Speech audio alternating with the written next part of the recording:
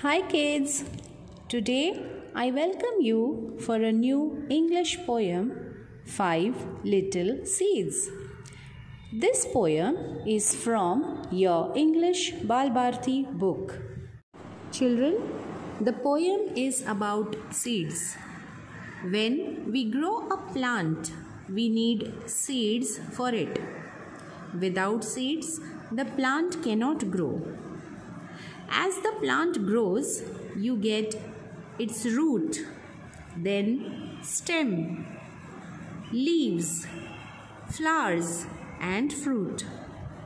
To grow a plant properly, it needs sunlight, air, soil, and water.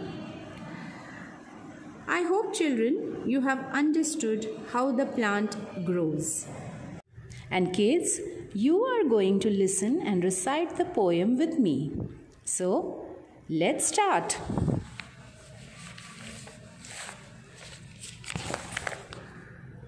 Five little seeds, five little seeds. Three will make flowers and two will make weeds. Under the leaves, under the snow, five little seeds are waiting to grow. Out comes the sun, down comes a shower, and up come the three pretty pink flowers.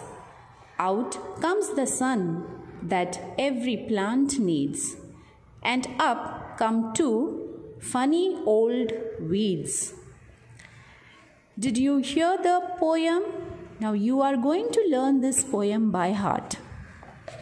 Now Look and say these words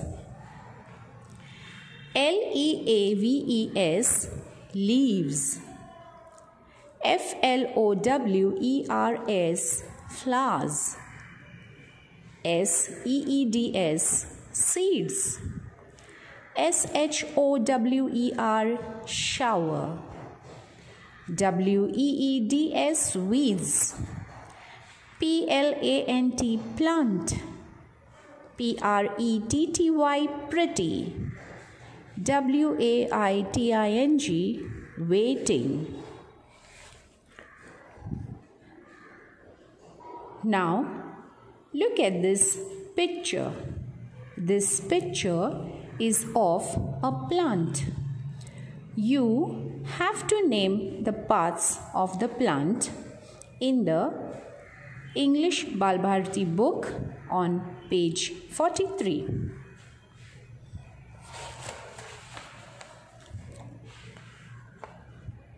Now, the words seed, weed, need have two E letters in the middle. Find out some more meaningful words that have two is in middle.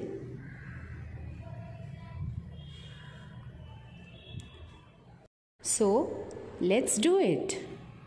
S E E D seed and F E E L feel is already done for you. Now we will make some more new words. S T E E L steel. J E E P Jeep, W E E D, weed, N E E D, need, K E E N, keen, S E E N, seen, W H E E L, wheel, F E E D, feed, D E E D, deed, and H E E L, heel. Now, this was the poem and the work what was to be done. I hope you have understood the poem well and you are going to learn it by heart. We will meet in the next video. Till then, keep learning.